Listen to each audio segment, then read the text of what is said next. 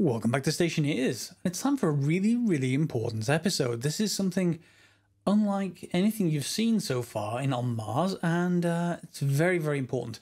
It is, however, going to involve electronics, but it won't be this sort of electronics. Okay, there's a very new system that's just come into the game, or a new sort of interface for doing all of this stuff. So if this sort of stuff you see on the wall here intimidated you, or you have problems with that, uh, there is a new low-level programming language that we can use. So let's get to that and take a look. So in your Electroprint, you will see um, a new recipe near the bottom, or currently near the bottom, who knows, called a programmable chip motherboard. Okay. So if you make one of those, and you also want to just get some processors, uh, I've got some in my backpack, just the regular kind. You'll see if you put these on a wall, if you scroll through, there's a new programmable chip PGM chip. So this is a variant of the processor and it has some good important things that you can do with it. So these buttons on the front are the inputs. You can have up to three inputs and there is only one output and the output is a bit limiting. There's only one.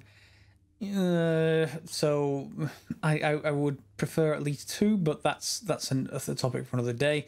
But yes, uh, the important point about this is that it's programmable. So unlike this sort of setup where we have to lay things out and then select inputs and outputs and everything else, we can collapse a lot of electronics now down onto this chip. So this episode may well be a fairly short one, but I just wanted to cover it just to make sure you're all aware of it because there's probably going to be a lot of people messing around with this system. So let's get it started and uh, I'll keep it as brief and to the point as possible. We'll take a break from the usual kind of buildy kind of things just to show you this system. So you'll see up here, uh, the, currently these are all on because I've turned off my power saving setting just so I can um, I can do stuff up here when the sun's gone down.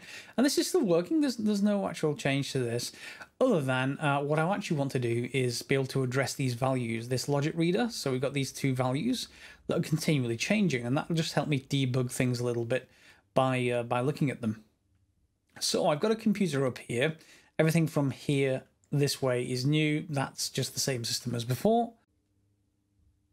And by the side of the computer, we've got a logic programmable chip placed down, and I've already set these buttons to be the inputs. So there is button one, button three, and button two. Don't know why they're named that way. That's just the way that the, the default is. And I've set this one to logic reader theta, this one to logic reader phi, and that one not to, well, that's connected to corrected vertical at the moment, but we don't need that, that to actually to look at this demonstration. In fact, we only need one input really, just to really look at this. I've got a logic writer that is looking at this, and that logic writer is then outputting to this. So you can see quite easily what the state of this is without me looking at it. Okay, and this episode is going to be a bit of a programming episode. I've not really done any of those before because we haven't had this system. But let's boot things up. So you can see we have a motherboard in here. So yeah, programmable chip motherboard. The icon isn't even done for it yet. Is that new? And here we have programmable chip interface. So at the top left, we have, we can choose the chip. In this case, we've only got one in the network, so, uh, or in this subnetwork, so it's right here. And then we can press import and export. Now they don't look like they do anything, but that's because there's no actual code in here at the moment. What we have in the chip is a number of different registers and different inputs and different outputs. So let's go through them. There are three inputs and it's you can see on the modeler 0, 1 and 2. So I0, I1, I2 are the inputs and the programmable interface. The output is just the letter O. Nothing, nothing special there. And again, there's only one output, which is sort of limiting, but we'll get there. And then internally, there are five registers, or think of them as five memory chips, just like this, if you like, that uh, we can store values in. And they're called, well, yeah, I've said, I've already said the word register, but yes, they're essentially just memory locations we can store values in. And that's R0 through R to 4. Uh, sorry, R0 through R4, yeah. So five values. Again, everything is zero indexed because programming is just like that. All right, so we can then click on this little edit button and you'll see in the middle of the screen it goes dark and uh, hopefully you can see a little, when I click on it, there's a little cursor at the top of the screen. So what can we do? Well, we can do a bunch of things.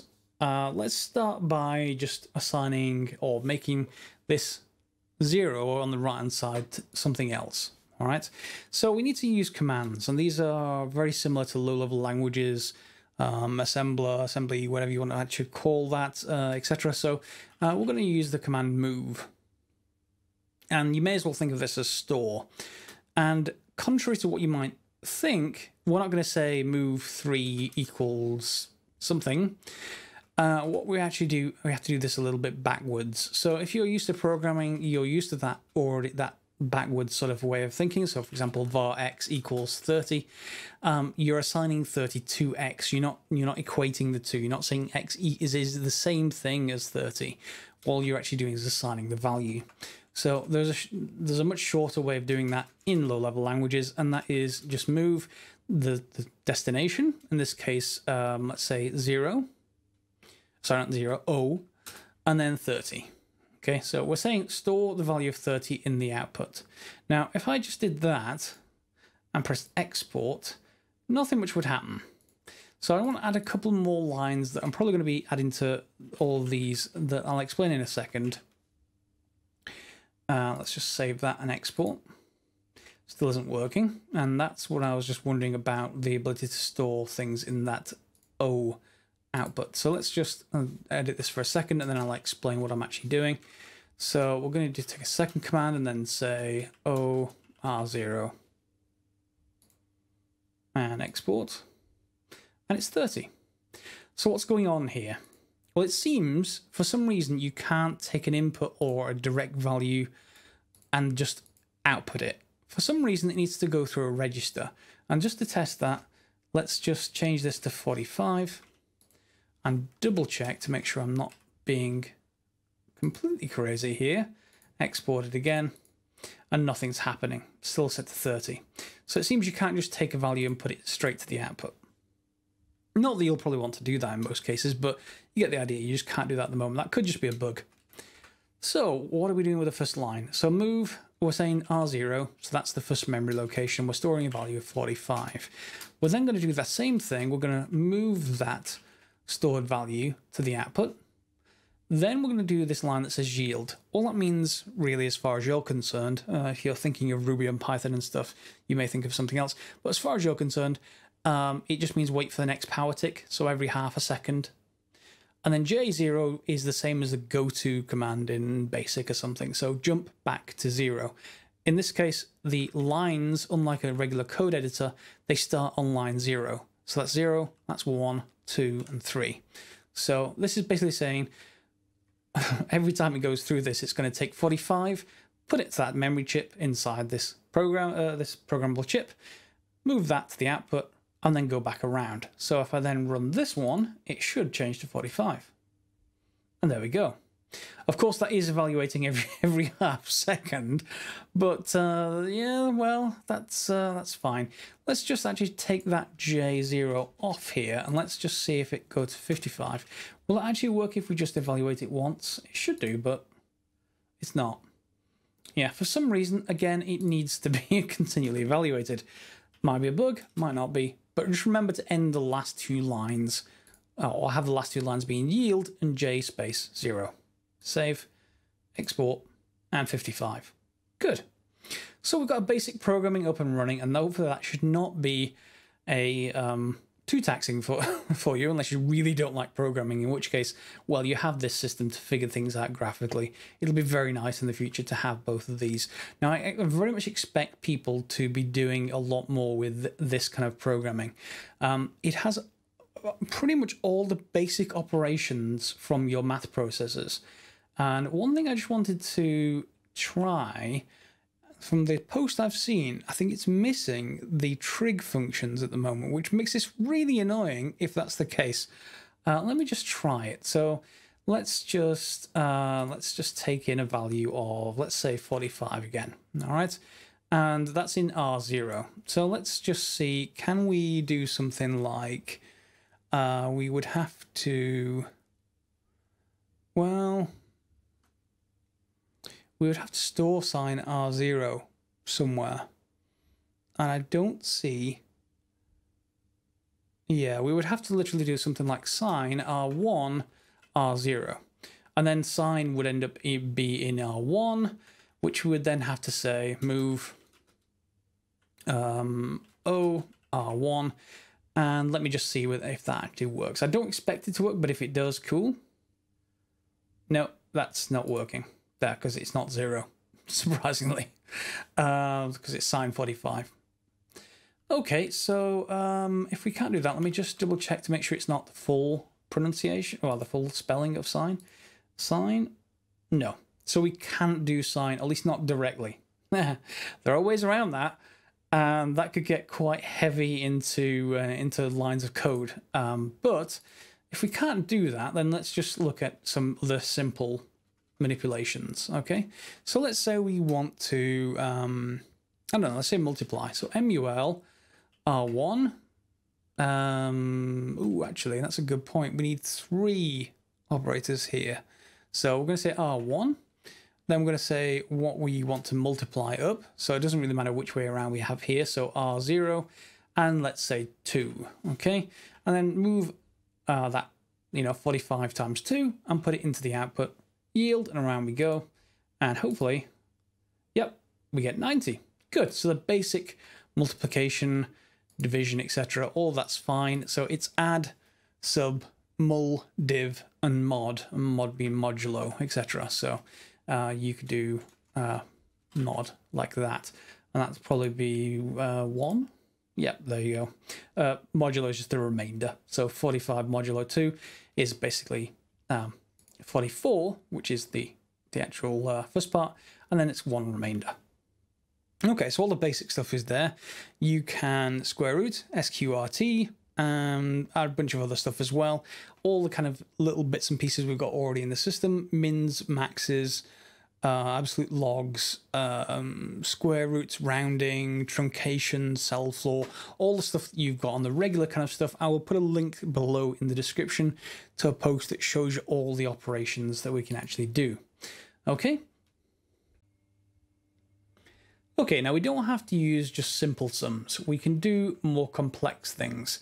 So 0.990, let's see if that's actually what I actually get over here sine theta 0.990. Good.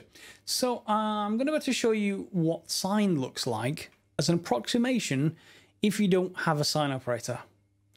Don't panic. I will copy and paste this into a gist that you can view online. And I'm sure some people will come up with a two-liner especially if someone introduces like a sine operator into the uh, the the chip before uh, this actually gets out to you guys. But we'll see. There isn't one at the time of recording. So here we have sine, or there thereabouts. Don't panic. Okay. What this is actually doing is taking in the input. It's multiplying it by that value. That converts it to radians. That's all that it's doing. And then it does a modulo of 2 pi. And all that means is now R0 is somewhere between 0 and 2 pi. That's 6.28-ish. Okay? And that's all that happens. So this is what we need to do to be able to use a Taylor series. So, Taylor series, it's just a few terms, and we're just alternately uh, adding and subtracting them. Okay, so the first term is now set to R0, and it's in radians, and it's known to be between 0 and 2 pi. And then we're just copying it across into three other terms, into three other uh, registers. Then each of these blocks is doing something to each of those copies. So the first copy we want a cube. So multiply it by itself and store it in itself, if you like. And then by the original copy, and then that's a cube. And we divide it by 6. Divide and store it back in R1. So that's the second term. First term is R0, second term is R1. We do the same thing with R2 we're divided by 120 and this time we are taking it to the power of 5 so you can get to the power of 4 easily just by repeating the same thing.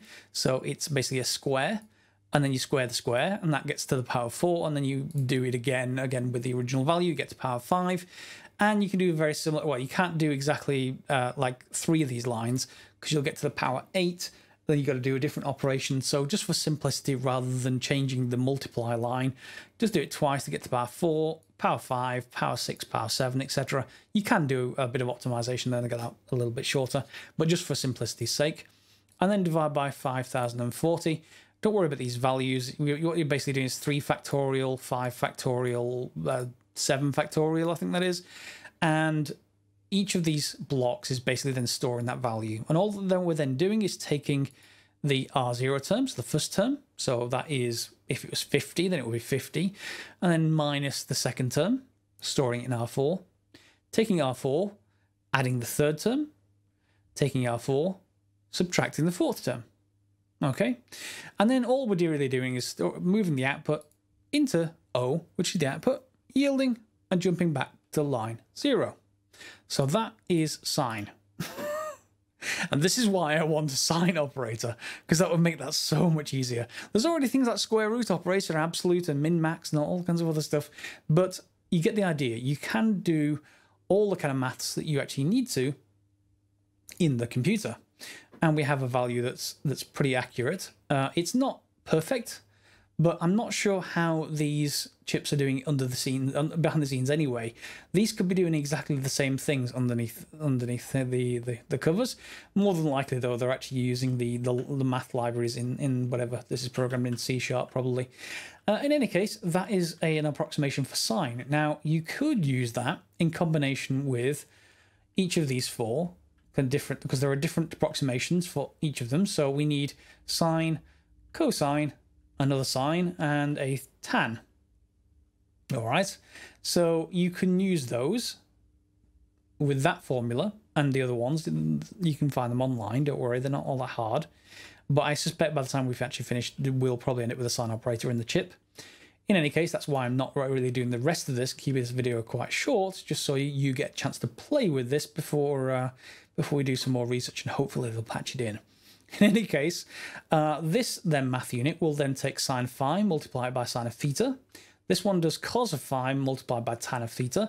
So if you did all that in the code, you would get rid of six chips easily and replace it with one chip. And I think it's like 50 watts, that, that, uh, that, that chip.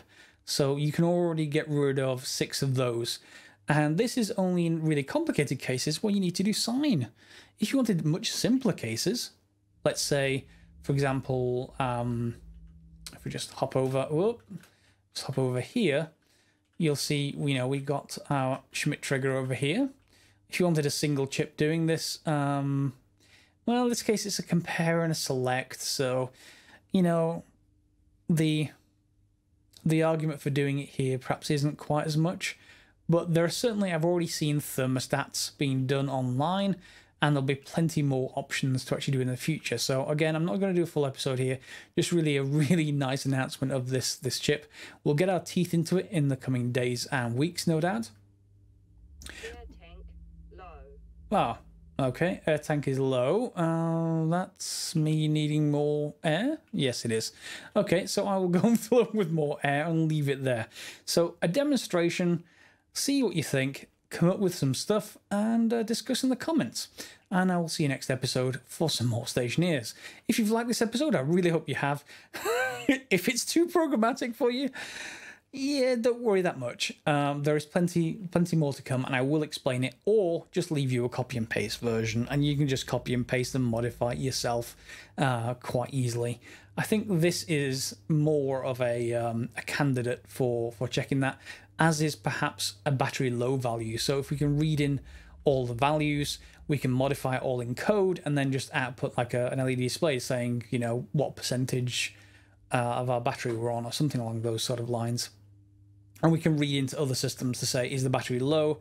And we just tell, you know, is it less than 40% or is it one or zero? You know, that kind of thing. Anyway, as always, thanks for watching.